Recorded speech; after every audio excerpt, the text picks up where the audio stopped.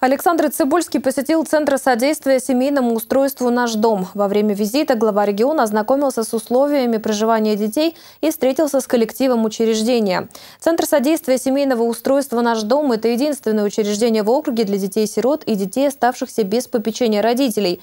На сегодняшний день в учреждении воспитывается 75 детей в возрасте от 0 до 18 лет. Знакомство с учреждением Александр Цибульский начал с посещения самого небольшого подразделения, в котором воспитываются детки с рождения. Глава региона обратил внимание на то, что, несмотря на возраст здания, а ему уже больше 50 лет, в помещениях тепло и уютно, как дома. Сколько? Четыре месяца и я.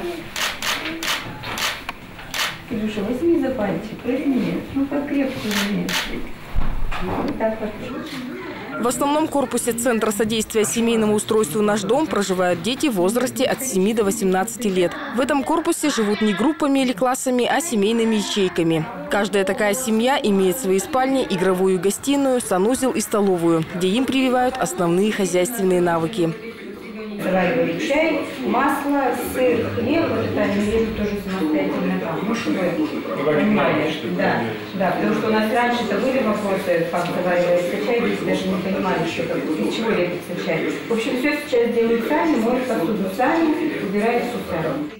Есть у ребят и любимый кабинет. Это мастерская, где их учат не только создавать национальные сувениры, но и знакомят с ненецкой культурой. Традиции в детском доме ценят. Преподаватель по ручному труду Маргарита Латышева учит воспитанников тонкостям национального декоративно-прикладного искусства. Мастер делает из фрагментов шкур маленькие поделки-игрушки, прививая детям элементы культуры коренного этноса.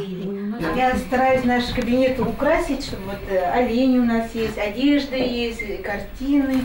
Ребята постарше живут в одном из жилых корпусов школы имени Пырерки. Условия здесь также максимально приближены к домашним. По достижению совершеннолетия воспитанники Центра содействия семейному устройству покидают стены детдома и интерната и живут самостоятельной жизнью. А педагоги нашего дома оказывают им постинтернатное сопровождение.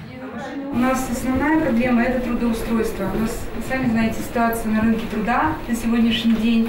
И вот мы оказываем содействие, созваниваемся с работодателями, а, встречи. Ну, удается устраивать? Ну да, мы вчера вот устроили двоих на работу. В рамках визита в Центр содействия семейному устройству Александр Цибульский обсудил с коллективом учреждения будущее детского дома и ответил на другие социально значимые вопросы.